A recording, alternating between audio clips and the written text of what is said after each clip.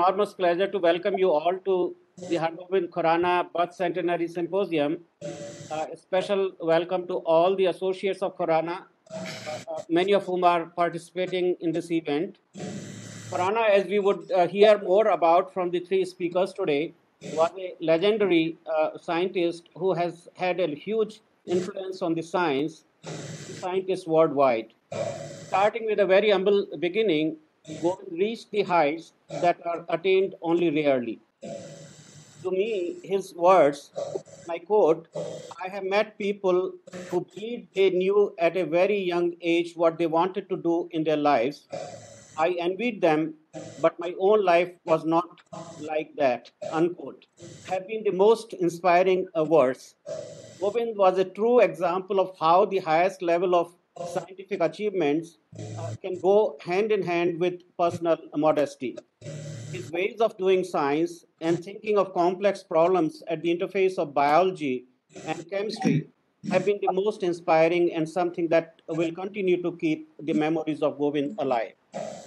Today, uh, we are remembering Govind in the centenary year of his birth uh, by organizing this symposium. I'm very much indebted to the speakers and chairs for so readily accepting my invitation. All the three speakers are extremely well recognized in their fields and are legend uh, on their own. Uh, so we are really fortunate to have them speak in the symposium. Uh, events like this are important to enthuse uh, young scientists worldwide, and more so in India, as they can easily relate uh, to the fact that highest kind of science can be done even with not so advanced facilities uh, provided the problems are chosen carefully and chosen uh, to be futuristic as done by Khorana. I hope this symposium will inspire these students to take a leaf uh, from scientific journey of Govind Khorana. Uh, uh, with these few words, it is uh, now my pleasure to invite Professor Parul Chakrabarty, formerly Professor and Chair, Department of Chemistry and Acting Director, Bose Institute, Kolkata, who, has, who, who had the privilege of working with Govind. May I request Parul to say a few words about Govind and introduce Tom uh, RajBhandary, a longtime colleague and friend of Govind. Greetings to all of you. Already we have been introduced to the theme of the program, celebrating birth centenary of Govind. I start with a quote from Sidney Hook, who said, quote, Everyone who remembers his own education remembers his teachers, not methods, techniques. The teacher is the heart of educational system, unquote. So is Govind to his fraternity. My heartfelt homage to Govind, my mentor at MIT. Perhaps I was the first Indian woman to do research with Govind.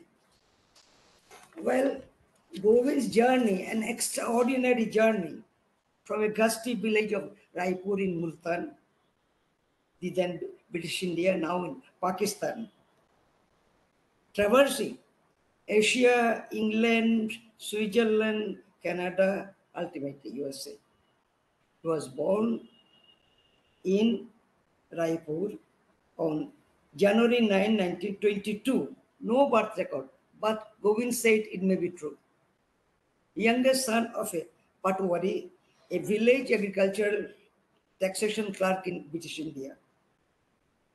Govind said, I quote, Although poor, my father was dedicated to educating his children. We are practically the only literate family in the village inhabited by about 100 people, mostly homeschooled under the tutelage of his father and his elder siblings. Then he went to the government college in Lahore um, and Punjab University. He got his BSc in 1943, MSc in 1945. And then he went to the University of Liverpool, England, did his PhD, and his mentor was uh, Roger Beer. He did his postdoctoral studies with Vladimir Prelog at ETH Zurich in Switzerland. In 1949, he came back to India to find a job, but there was none. Then Govind again went back to Cambridge he stayed there for two, two years, 1950 to 52. I did postdoctoral studies with um, Wallace Kenner and Alexander Todd on peptide and nucleotides. Then Govind moved to University of British Columbia. He stood there from 1950 to 60 with a faculty position and worked on nucleic acid and synthesis of many important biochemicals. I quote Govind. He said, I did there with all the freedom in the world. Unquote. Then he moved to University of Wisconsin and stayed there 1960 to 70 as the co-director of the NL Research Institute. He moved to MIT in 1970 to, and stayed there after 2007 as Alfred Sloan Professor of Biology, Chemistry, later a member of the board of scientific governors at the Scripps Research Institute there. He retired from MIT in 2007. Oh, he got many, many, many awards. Govind, a founding father of chemical biology, utilized the power of chemical synthesis, how the language of DNA and RNA is transformed into proteins in the cell, and deciphering the genetic code, how the triplet sequences encode specific amino acid. For deciphering the genetic code, Govind shared Nobel Prize in Medicine 1968 in medicine with Marshall Nirenberg. After the middle of 1970s, his lab studied the membrane biology and the biochemistry of bacteriorhodopsin, a membrane protein that converts light energy into chemical energy by creating a proton gradient. Later, this group went on to study the structurally related visual pigment known as rhodopsin. I was fortunate to be involved in the beginning of this program.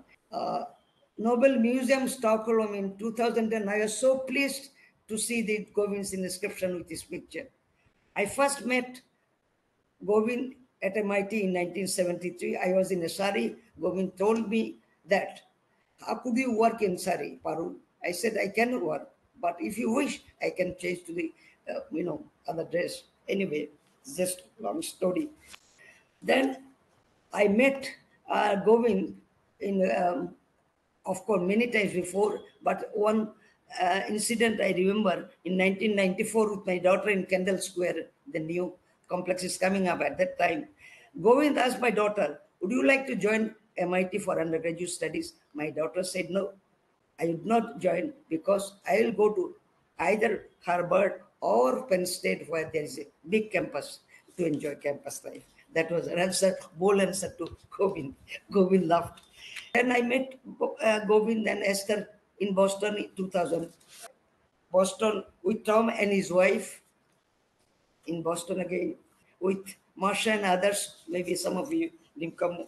But then, then lastly, I met Govind in Okayama, Japan, in a symposium in 2004 uh, Takao Sekiya was the host there, and many of us were there. Yeah, here are the lifelong friends. Their friendship from 1962 to 2011 till Govind's demise. Lifelong friends. While Govind was a scientist par excellence, um, Umesh told, with shared legacy in the Indian subcontinent. Striking personality, a passionate human being with warmth for all including the family members of his bandwagon.